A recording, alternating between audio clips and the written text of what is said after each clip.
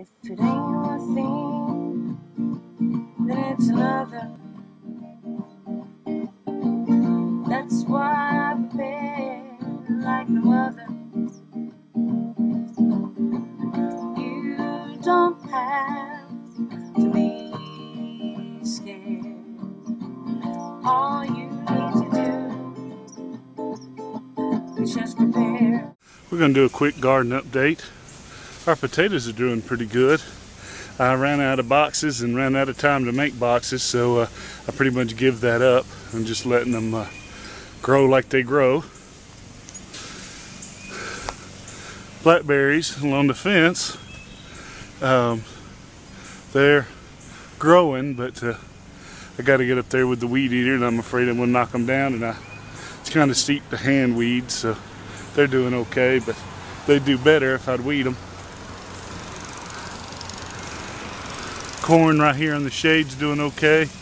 The Three Sisters thing with the cucumbers and the beans didn't do very good right here, but it's under a lot of shade. All this right here was uh, beans too. See, I got one little scraggly little bean. Most of this is because I didn't weed it. Some of that's because uh, um, it's in the shade, but most of that's my fault. Next year I'm going to run a raised bed down this end just like I did the back. Sunflowers are doing real good. The wife is the most happy with these. She didn't even know I planted them. But I've got some sunflowers and we're doing this with the Three Sisters thing too. And I've got some beans that have grown up the stalks, but we just harvested those. Got lots down here.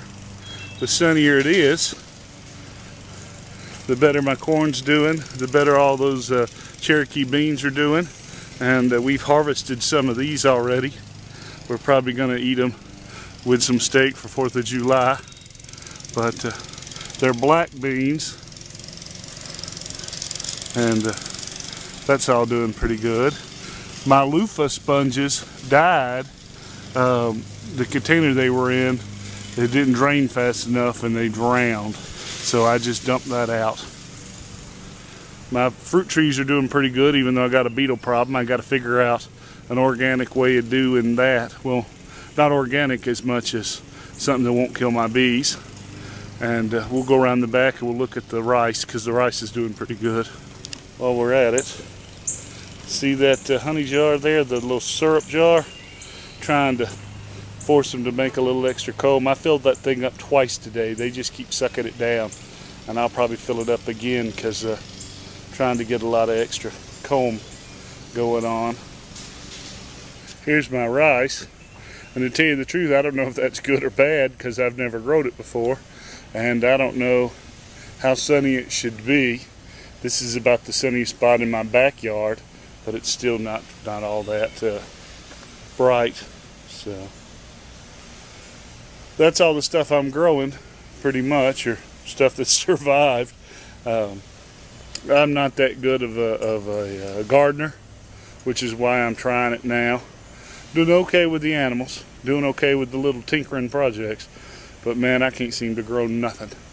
Which is why if you buy those little sealed jars of, you know, uh, millennium seed or whatever you want to buy, that's all well and good, but you better try it because uh, I've got those things and I can't grow nothing.